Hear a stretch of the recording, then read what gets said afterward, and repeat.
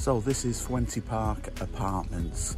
Uh, it's about 50 metres from the main Corralejo strip, which is just basically one long road that's full of bars, restaurants, shops. If you go to the north, you've got the water park. You go to the south, you have the old town with the, the more, more like classic restaurants, seafood restaurants, things like that, the old harbour and stuff.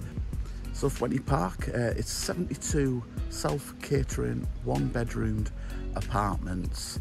Uh, we're going to take a look around the complex. We're also going to take a look around the rooms and I'm going to give you my overall personal review of the place. Fuente Park, it is rated as a three-star self-catering complex. We'll have a look and you can say what you think. Yes, that was the reception area there at the Fuente Park apartments. Uh, they do, for some weird reason, keep the front door open from 4 to 5 but lock the side door so you have to come through one of the side gates. No idea why, but it's just one of them things.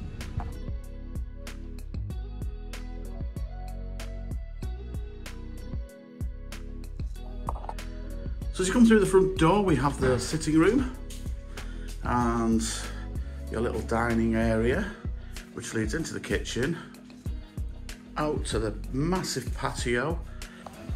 So as you leave through the patio doors, you have a huge patio area uh, with some chairs, a couple of a little table, some chairs. Like I said, it's absolutely huge. Uh, some lounger there, your area, and it's directly straight onto the pool area. So again really, really good. There's not many places you get this much outdoor space. You have to excuse the can in the corner. That must have blew off last night. Uh, this is your sofa beds, table, lamps, plenty of storage. There's a nice TV there as well. all your BBC and Sky News and there's some Spanish channels and stuff. Now, but the apartments are a bit dated, uh, but they are clean uh, absolutely spotlessly clean. Yeah, the paintwork could do with touching up. In fact, could do with a full remodernisation. But for what you're paying for it, it's it's absolutely fine. Oh, there is some really good air conditioning in some of them. Some of them apartments, as we're being told, the aircon doesn't work as well. But you just ask at reception and they'll sort it out for you. There is a, a 10 euro deposit on the remote control for the aircon. This is the kitchen. I might have to bring it out a little bit. It's not a massive kitchen, but it's absolutely perfect for what you need. Uh, there's full working cooker, full hob, uh, a lovely fridge freezer.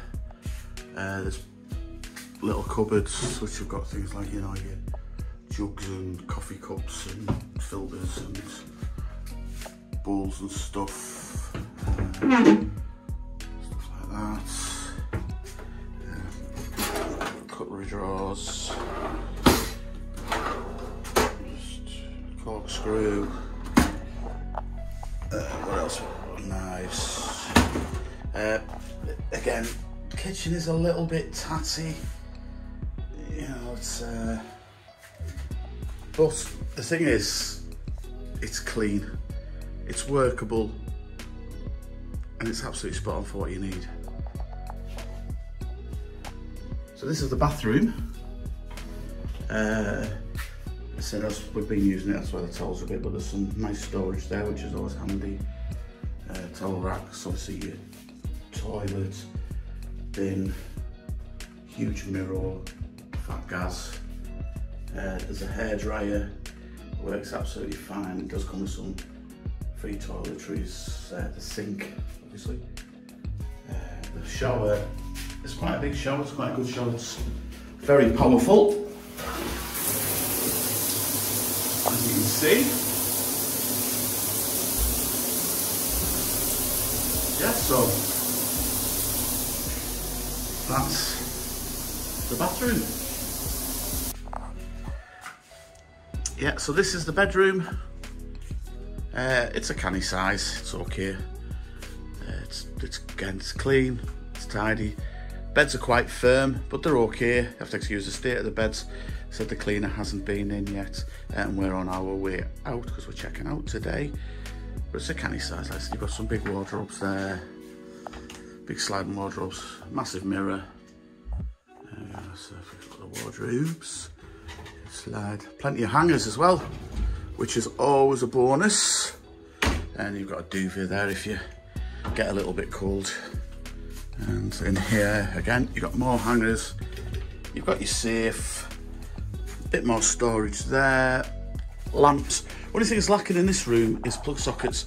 You've got a plug socket there for that lamp. You've got a plug socket there for that lamp, and that is it.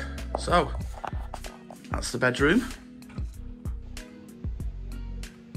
So what can we say about Fuente Park Apartments? These are just my own personal views, just a little review of what I think of Fuente Park. This is our sixth, fifth or sixth time that we've been here, so it can't be that bad if we keep returning. It isn't that bad, it's absolutely fantastic for the price you pay and the location. Like I said, it's located right in the middle of, well, right in the heart of Corralejo, just off the main strip where all the shops and restaurants and things are, so it's, it's perfect for the location.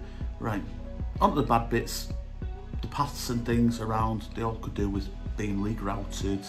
Uh, they are a bit, a bit sticking up stuff, so I wouldn't advise going out without shoes or your flip-flops and stuff. You're going down the pool area, just make sure you've got something on around there because there's a good chance you'll cut your foot uh, or catch it on something. Uh, the pool area, absolutely love the pool area. Uh, the pool's brilliant. It's it's it's a nice deep pool, nice big pool. It's a bit cold, but that's that can be quite good if you if you're a bit hot and you, you do need that little bit of a dip. The sun lounges, they're the same sun lounges that have been here for what, the last seven years. They're, most of them are absolutely knackered, they're, they're uncomfortable. You know, they could do they could do a new sun lounges. There's 11, oh sorry, there's only 10 uh, brollies around the pool and even there they're all tatty and the bases are falling apart. It's it's a bit it's a bit tatty. They could do with a refurbishment, but you can't really complain again for the price that you're paying.